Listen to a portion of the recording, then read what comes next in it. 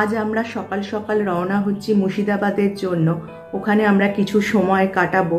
তারই কিন্তু ছোট ছোট মুহূর্ত তোমাদের সাথে শেয়ার করব।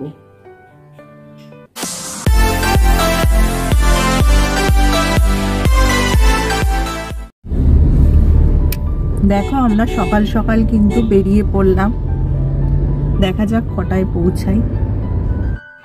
মন ভালো রাখার জন্য কিন্তু ঘুরতে যাওয়া একান্তই প্রয়োজন। আমরা শরীরের খেয়াল রাখি, কিন্তু মনের খেয়াল অনেক সময় রাখি না, যেটার খুবই প্রয়োজন হয়।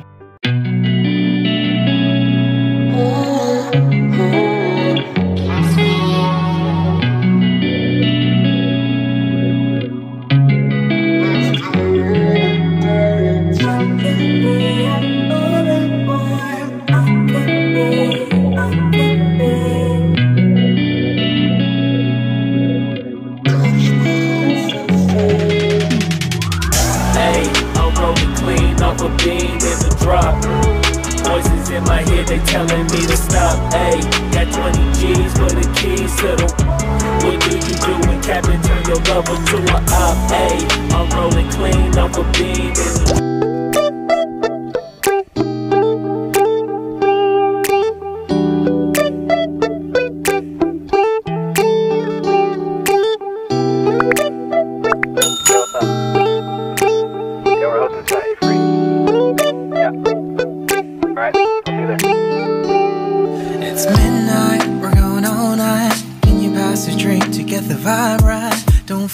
like having a Bud Light. How's tequila with some salt and lime?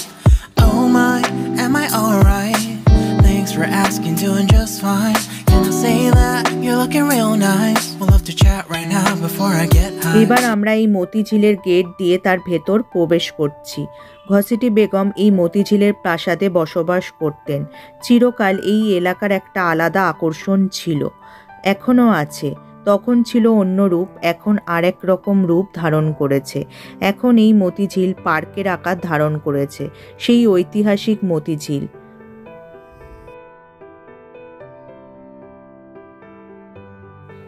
এই গেট দিয়ে আমরা পার্কের ভেতর প্রবেশ করলাম, দেখো কি সুন্দর পরিবেশ এখানে, দেখলেই যেন মনটা ভরে যায়।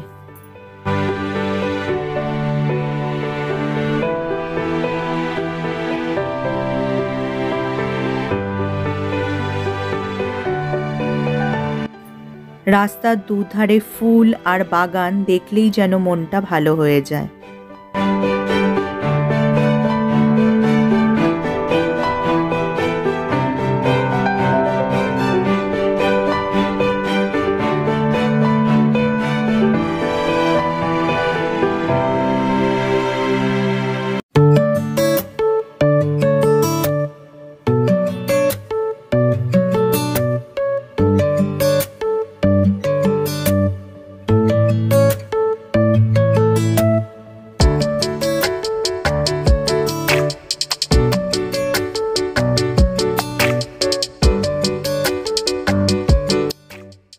আস্তে আস্তে চললাম আমাদের কটেজের দিকে এই কটেজে আমরা থাকব।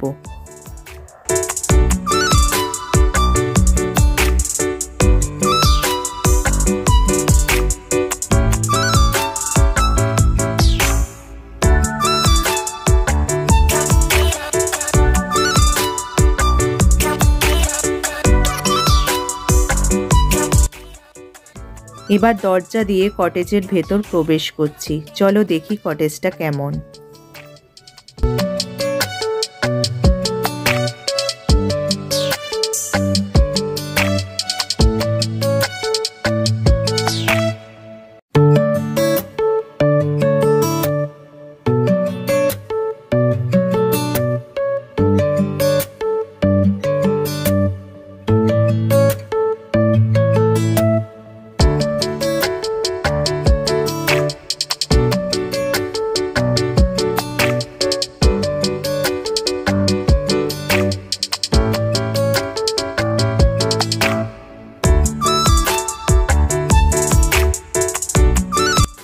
আমরা যে কটেজটায় ছিলাম, তার নাম হলো সিরাজ। কত কিছু সাক্ষী এই মুর্শিদাবাদের মতিঝিল, ভাবলেই যেন কেমন লাগে। এখানে নবাব সিরাজদৌল্লা দাঁড়িয়ে আছেন। এখানে ঘসেটি বেগম, জগৎ শেঠ, মির্জাফর সবাই ষড়যন্ত্র করছে কীভাবে নবাব সিরাজদোল্লাকে সিংহাসনচ্যুত করা যায়। এরা সবাই এখন পাথর। তিনশো বছর আগে এই পাথরেই ছিল প্রাণ।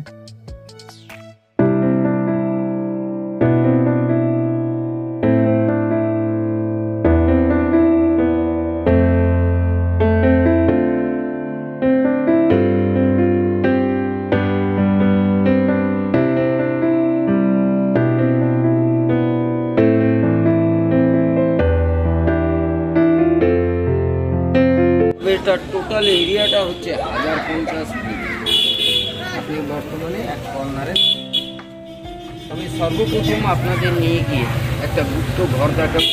তারপরে বাকি হিস্ট্রিগুলো বলব। একটা জিনিস মাহিত্য বলে যে এটার বয়স হচ্ছে দুশো সত্তর একাত্তর বছর পার হয়ে সহজে যায় না। যেটুকু নষ্ট হচ্ছে প্রাকৃতিক কারণে। আমাদের গাইড কাকু এই ঘসেটি বেগমের গুপ্তঘর সম্বন্ধে একটা ধারণা দিলেন। ইট দিয়ে গাঁথনি, যার জানলা, দরজা কিন্তু কিছুই নেই।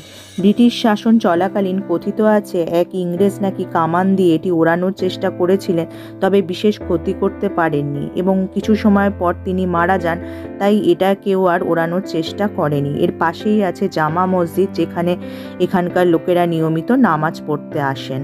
এত পুরনো মসজিদ হলেও এটি এখনও অক্ষত অবস্থায় আছে। নবাব মুর্শিদ কুলি খানের সময় তৈরি এই স্থাপত্য এক কথায় যেন অসাধারণ। এখানে প্রবেশ করলে দুপাশে দুটি মিনার দেখতে পাওয়া যায়। আসলে চার কোণে চারটি মিনার ছিল। ভূমিকম্পের ফলে তা ধ্বংস হয়ে গিয়েছে।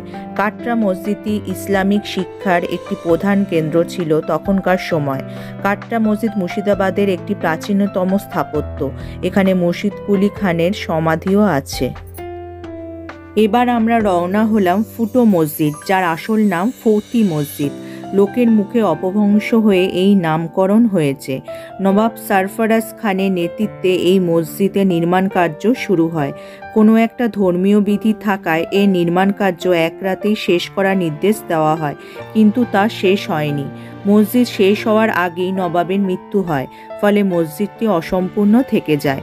এটি মুর্শিদাবাদের তখন সর্ববৃহৎ মসজিদ ছিল। এটি একশো পঁয়ত্রিশ ফুট লম্বা ও আটত্রিশ ফুট চওড়া। এটিতে তিনটি গম্বুজ ও চারটি সিঁড়ি আছে, যা চার কোণে অবস্থিত।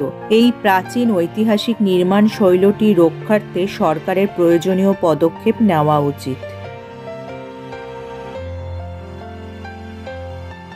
এবার আমরা চলে এলাম মির্জাফর ও তার পারিবারিক ঐতিহাসিক কবরস্থানে।